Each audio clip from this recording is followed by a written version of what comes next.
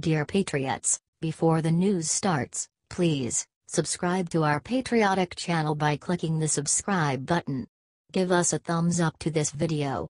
Don't forget to leave your opinion below in the comments section. Share the news on Facebook and Twitter so you friends see it. Thank you. Breaking top Trump cabinet member just resigned. President Trump announced earlier today that he was going to decide later tonight on Health and Human Services Secretary Tom Price's future. Now we know. It's official. Price is out. He has just officially resigned. Per ABC News, Tom Price, President Donald Trump's Secretary of Health and Human Services, resigned from his post today after it was revealed that he had repeatedly chartered private planes for government travel. Here's the deal. Price billed the federal government, meaning you and I, the American taxpayer, for at least $400,000 in domestic private chartered flights. That's a big no no, especially when Donald Trump is your boss. Taking advantage of the American people won't fly on his watch, pun intended. That's not all, though. Price also charged at least $500,000 to take military jets abroad. Not smart. Dang, dude. What were you thinking? Price apologized the other day, saying, I regret the concerns this has raised regarding the use of taxpayer dollars. All of my political career, I've fought for the taxpayers. It is clear to me that in this case, I was not sensitive enough to my concern for the taxpayer. I know as well as anyone that the American people want to know that their hard earned dollars are being spent wisely by government officials. Too little too late, Tom. Price added that he would reimburse the American people when he apologized, which hopefully he still will. Resigning was absolutely the right call, but Price obviously knew Trump was going to send him packing anyways.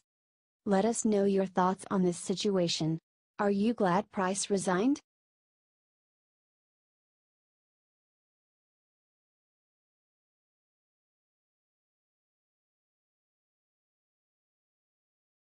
NFL star just gave every American the middle finger, finally admits what we all expected.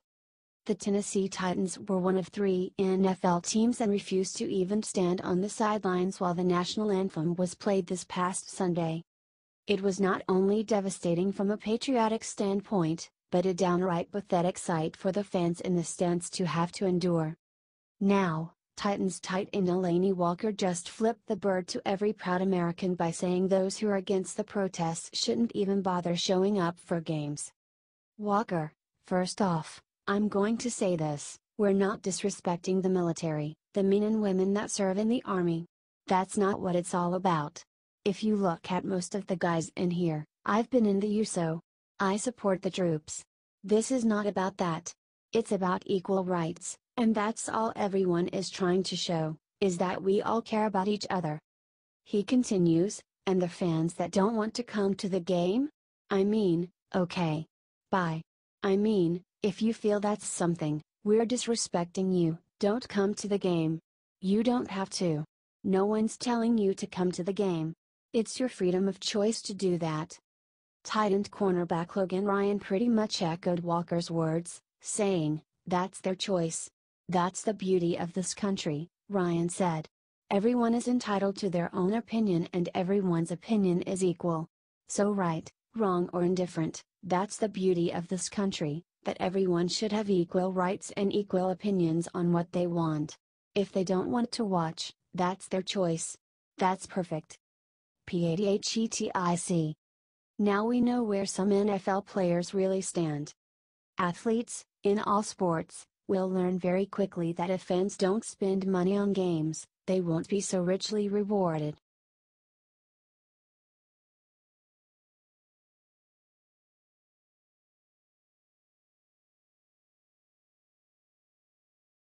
IT's over Trump just dropped a bombshell on Tom Price that will end him.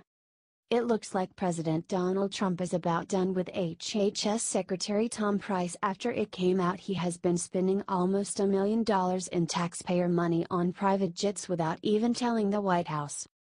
While the president was outside the WH today, he stopped by a group of reporters where he unveiled he would announce his decision on Price later tonight. Then the president said the same famous lines that came before Bannon, Priebus, and Flynn's firing. He's a very fine man. We're going to make a decision sometime tonight. I certainly don't like the optics. I'm not happy, I can tell you that. I'm not happy. I don't think too many of us are gonna be missing Tom Price. Frankly, he has accomplished pretty much nothing for health and human services, including getting Obamacare dealt with. The president always fires people on Friday afternoons. That's become a very obvious pattern. If you agree with his decision on Price, share this out and let him see how the people feel.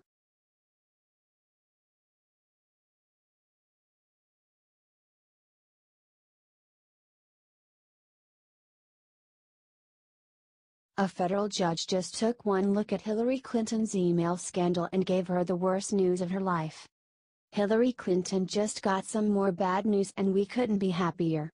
Conservative watchdog Judicial Watch just won a major court victory. A federal judge is going to review the information that was originally redacted from Hillary's Secretary of State emails. And the best part of all? That review will take place on camera. Judicial Watch noted on Thursday.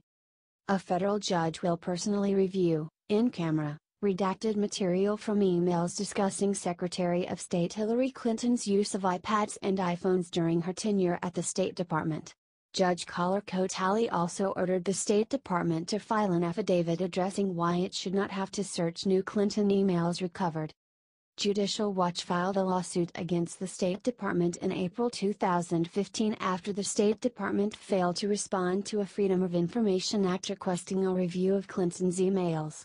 Judicial Watch is asking that all records of requests by former Secretary of State Hillary Rodham Clinton or her staff to the State Department Office Security Technology seeking approval for the use of an iPad or iPhone for official government business, and all communications within or between the Office of the Secretary of State, the Executive Secretariat, and the Office of the Secretary and the Office of Security Technology concerning, regarding, or related to the use of unauthorized electronic devices for official government business. Judicial Watch is essentially seeking evidence that shows Hillary Clinton knew using unauthorized electronic devices for her duties as Secretary of State were wrong, which would show a willful defiance of the law as opposed to negligence. Great news for those finally seeking to bring Hillary Clinton to justice, as Judicial Watch President Tom Fitton said. Hillary Clinton knowingly used an unsecure email system and risky iPads and smartphones to conduct classified and sensitive government business. Although Fitton added, it is frankly outrageous that Secretary Tillerson and Attorney General Sessions allowed their agencies to cover up for and defend Hillary Clinton's scandalous and potentially criminal conduct. You have to wonder how much Tillerson and Sessions personally have to do with defending Hillary Clinton, but Fitton definitely gives food for thought. Share this out so both of the secretaries can see the American people want Hillary Clinton brought to justice as soon as possible. HT Judicial Watch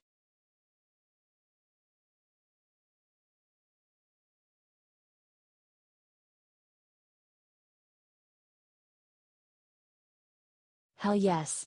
Donald Trump Jr. just defended Melania after liberals do something horrible to her. A Cambridge, Massachusetts librarian rejected a shipment of books from First Lady Melania Trump for their school library. A librarian named Liz Phipps Soeiro said that the Dr. Seuss books that the First Lady sent her were racist. It's no surprise to see attitude like this from an Obama supporter. Liz Phipps Soeiro.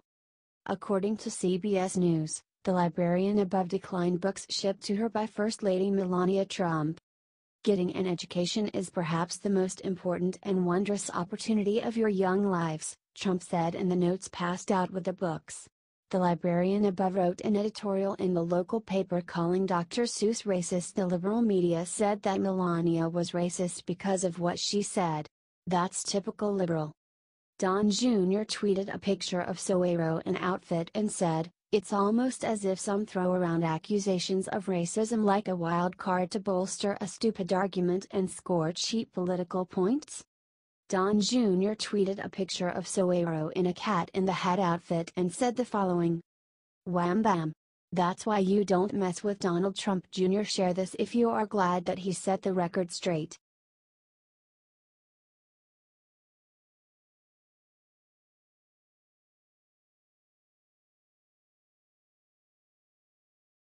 Dallas Cowboys superstar just made monster announcement about team's anthem plans. It was learned yesterday that the Pittsburgh Steelers are going to stand during the playing of the national anthem this coming Sunday. A good move by the organization. Americans have had enough with the disrespect for their country. Now, the Dallas Cowboys have just made their plans very clear. Superstar wide receiver Dez Bryant just made it official. America's team is done, yes, done, kneeling. It will happen no more. No more anthem demonstrations for Cowboys, Dez Bryant said team will stand with hand over heart Sunday. Said last week was about Trump. Clarence Hill Jr., at Clarence C. Hill September 29, 2017. Bryant's words, per Sports Day, we're going to stand. We're going to stand and put our hand over our heart and we're going to do what we did before. Y'all know what that was, that was just a response to President Donald Trump. That's all that was. Bryant added, I'm going to leave all of that in the past. It is what it is. I'm focused on this week. I don't even want to think about it. I'm done. Cowboys owner Jerry Jones, who was torn about kneeling or not with his team last week in Arizona, spoke about put the protest, saying, I'm so appreciative of how the team responded. It was a trying time. Players were truly under pressure, external pressure from their relationships. They were really under pressure to basically in many cases kneel at the flag. Everybody was really thoughtful. It was arduous. It was very telling. Dez, for instance, was absolutely torn. He was getting a lot of pressure. HT, New York Post,